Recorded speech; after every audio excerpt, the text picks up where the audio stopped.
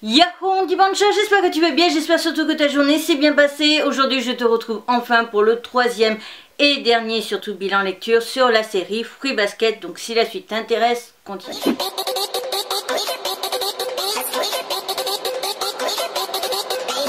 Donc le manga Fruit Basket, je ne vais pas recommencer à te dire l'âge conseillé, le genre, etc. Je l'ai fait dans les deux premières versions et je t'invite tout simplement à aller voir les deux premiers épisodes, bien entendu, pour comprendre aussi mon avis sur la série. En ce qui concerne donc cette vidéo, je ne sais plus du tout, je me suis arrêtée au niveau du tome. Euh, j'ai enfin exactement, hein, mais je sais à peu près ce qui s'y passait. Donc, en ce qui concerne cette vidéo, je tiens à préciser que je vais éviter au maximum de spoiler. De toute façon, ce n'est pas le genre de choses que je fais dans mes autres vidéos. Je vais tout simplement te donner mon avis d'abord sur la dernière partie et euh, te donner un avis global. En ce qui concerne la dernière partie, je l'ai adoré, j'ai trouvé ça très intéressant, on apprend beaucoup beaucoup beaucoup de choses. Il y a pas mal de choses aussi qui se passent, il y a beaucoup de choses qui évoluent, qui s'améliorent, qui s'arrangent, etc. Alors non, ça ne finit pas forcément sur le parfait happy end, tout mignon, tout rose, etc. Il y a pas mal de choses quand même tristes et négatives qui se sont quand même passées en cours de route. Donc certes, ils ont, certains ont réussi vraiment à obtenir vraiment un bonheur assez suffisant, je trouve mais on voit bien que eh ben, ils sont pas passés par la belle route toute goudronnée pour aller jusqu'au bout de cette série. Ils sont bien passés par la route toute boueuse toute euh, pleine de trous etc donc c'est vraiment un manga très intéressant parce que ça montre bien que si on essaye de changer certaines choses ça peut des fois nous apporter un petit peu de bonheur et que si on se bat dur pour quelque chose auquel on croit ou quelque chose que l'on souhaite obtenir et eh ben ça peut arriver à réussir. Donc rien que ça, moi honnêtement en ce qui concerne cette lecture et quand je vois et surtout je lis la fin parce qu'il me manquait en fait euh, le tome 20, 21, 22 et 23 à lire. Je ne les avais pas lus à l'époque où c'était sorti tout simplement parce que bah, j'avais trop relu les autres volumes et donc euh, en fait ça me saoulait à chaque fois de relire et euh, donc en fait je prenais plus plaisir. J'avais arrêté sur les, le tome 19 et donc là, les derniers tomes, les quatre derniers tomes du coup ont été une découverte pour moi au niveau de ce qui s'est passé. Et je t'avoue que rien que ce manga, je trouve qu'il est très intéressant parce que déjà il est, euh, il est, il évoque, c'est pas le mot que je voulais utiliser, mais il véhicule, voilà, il véhicule beaucoup de choses positives, beaucoup de choses à réfléchir et je trouve qu'il est quand même très intéressant parce qu'autant on montre bien le caractère de Toru qui au final a tout perdu et se retrouve à aider par des gens qu'elle ne connaissait même pas spécialement et finalement grâce à elle elle va obtenir quand même une dose de bonheur. Les Soma qui ont une malédiction qui sont tous quand même très malheureux en soi même s'ils ne montrent pas forcément mais ils souffrent et ils ont souffert par rapport à leur vécu. On voit bien que Malgré ça, il suffit des fois d'une personne pour te rendre heureux, pour te changer les idées, en tout cas des jours actuels où tu es avec cette personne. Donc ça, c'est quelque chose vraiment de très fascinant. Et ce, qui ce que j'aime dans ce manga, c'est que rien qu'en le lisant, je me rends compte que mon projet de déménager pour essayer de sortir de la dépression est faisable et que euh, si je déménage, je risque très fortement d'y arriver et ce, la lecture de ce manga me le confirme en fait que euh, en changeant la chose principale qui euh, bloque mon bonheur, qu'en enlevant cette partie-là, forcément, je pourrais enfin être heureux. Et c'est vraiment ça que le manga, je pense, essaye de nous faire passer comme message. C'est que il suffit des fois, même si c'est dur, même si c'est compliqué, même si ça prend du temps, que euh, changer des fois un seul truc qui ne va pas dans ta vie peut faire que ça va changer absolument toute la vision de ta vie et que euh, toi qui étais malheureux un temps pourras être enfin un jour être heureux. Et donc ça c'est vraiment quelque chose que j'ai su apprécier au niveau de cette, lecture. Alors oui certes, euh, je le redis, Toru peut paraître au tout début très chiant, très euh, ennuyante. Ennuyante. Il y a eu des fois dans les premiers volumes où j'ai eu clairement envie de lui étaler la tête contre un mur et de repeindre le mur avec. Ça c'est clair et net. Euh, je te l'avoue, je suis pas une personne patiente avec ce genre de personnes-là au niveau du caractère et c'est clair et net que j'aurais étalé la tête contre un mur pour repeindre le mur avec. Mais au fur et à mesure, on voit bien que euh, justement la petite fille niaise, naïve, etc. qu'elle était au tout début ne l'est plus forcément à la fin. Et ça, c'est vraiment très intéressant. L'histoire se passe, si je dis pas de bêtises, sur deux ans. Et donc ça, c'est déjà plutôt pas mal. 24 tomes, deux ans, je trouve ça plutôt correct.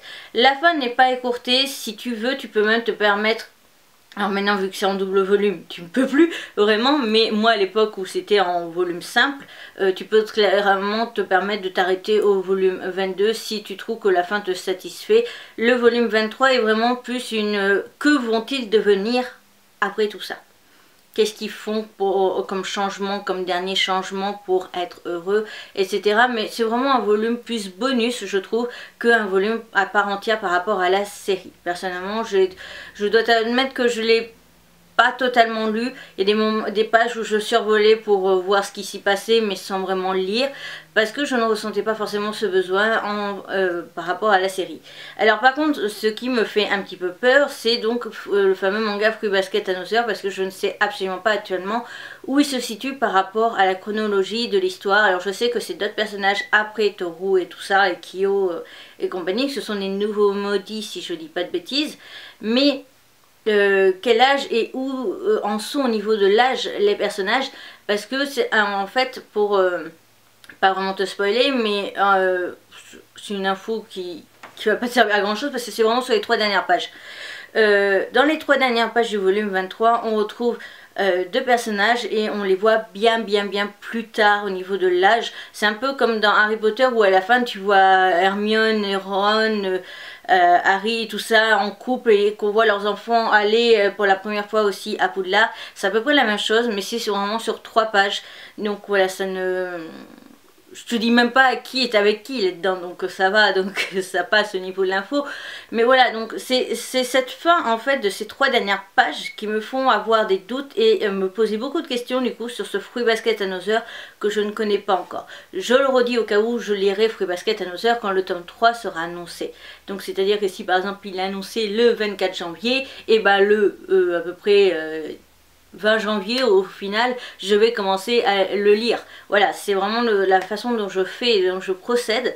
Donc voilà. Donc je ne sais pas trop je ne veux pas non plus trop en savoir je me laisserai découvrir ça et comprendre par moi-même bien entendu ce qui va se passer dans Fruit Basket Another mais c'est vrai que de voir un futur très lointain comme ça dans, il y a dans ces trois dernières pages et me dire qu'après peut-être que Fruit Basket Another va se passer entre ça me fait un petit peu bizarre je dois t'admettre mais bon, toujours est-il. En ce qui concerne cette série, je l'ai vraiment adoré. J'ai adoré, je vais te mettre la note, j'ai adoré le scénario, j'ai adoré le développement des personnages, la relation des personnages, j'ai adoré vraiment absolument tout. J'ai adoré les couvertures, j'ai adoré la qualité du dessin qui s'est largement améliorée avec le temps. Quand tu vois la, qualité du dessin du tome 1 et du 23e euh, tome, c'est clair et net qu'il y a eu du changement en cours de route. Et donc ça c'est déjà plutôt pas mal parce que techniquement si je dis pas de bêtises, 23 euh, tomes ça fait à peu près 4 ans.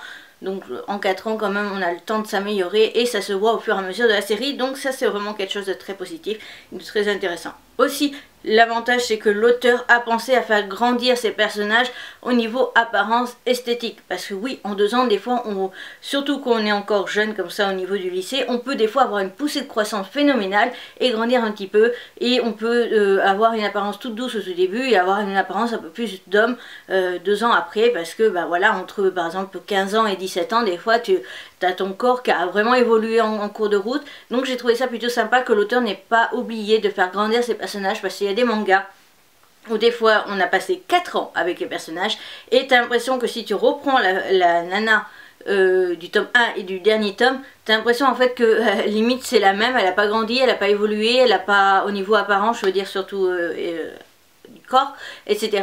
Alors que euh, bah, euh, en 4 ans, si ton corps et ton apparence changent, surtout quand tu es dans des âges de lycée, euh, je suis sûre que si tu regardes sur ton compte Facebook par exemple ou un truc comme ça où tu as posté des vieilles photos de toi, tu regardes 4 ans plus tard, tu verras qu'il y a eu quand même une évolution en cours de route. Et c'est à ça vraiment que je suis aussi énormément appréciée dans le manga. C'était que l'auteur a pensé vraiment à, faire grandir un petit peu ses personnages au niveau de la personnalité et aussi au niveau de l'apparence physique au niveau de tout au long de la série et ça c'est vraiment génial. Et surtout une fois de plus j'ai un énorme respect pour ce mangaka parce que gérer autant de personnages c'est vraiment hard parce que mine de rien elle a les 13 euh, les 13 maudits plus Akito plus euh, Toru plus Saki plus euh, Arisa si j'ai petit enfin Uo et Saki.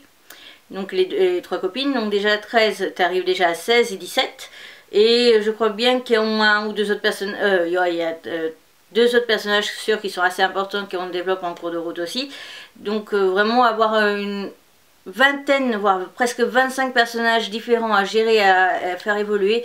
C'est vraiment un truc que, moi je trouve ça, ça un respect total tout simplement. Hein. C'est comme pour le manga Assassination Classroom, je, suis complètement admiratif quand les gens arrivent à gérer autant de personnages comme ça. Moi pour l'instant, 8-9, euh, je commence déjà à galérer. Mais voilà, donc toujours est-il, c'est vraiment un manga génial que je te conseille, vraiment, je pense que euh, toutes les personnes qui liront euh, ne ressortiront pas euh, comme s'ils n'avaient rien lu, en fait tu ressors avec quelque chose, voilà, ça t'a appris des choses, ça t'a fait réfléchir sur ta façon de vivre, sur ta façon d'être, sur ta façon de penser, etc. Et j'ai trouvé ça vraiment très très très très très intéressant. Donc c'est vraiment un des mangas coup de cœur. Et je peux te confirmer maintenant que j'ai terminé du coup cette série, que c'est l'un de mes plus gros coups de cœur. Il fait vraiment partie du top 5 et c'est même le premier de tous les mangas que j'ai pu lire, de toutes, toutes, toutes les séries que j'ai pu lire. C'est vraiment mon plus gros coup de cœur que j'ai pu lire dans toute ma vie d'otaku. Donc je te quand même de nombre de séries lues officiellement même celle que j'ai juste un petit peu entamée et que j'ai abandonnée en cours de route, mais euh, je connais au moins de quoi elle parle et c'est vraiment, euh, il fait sur partie des top 5 et je pense que si je réfléchis bien, c'est sûrement le premier dans le top 5 de tous les mangas que j'ai pu lire.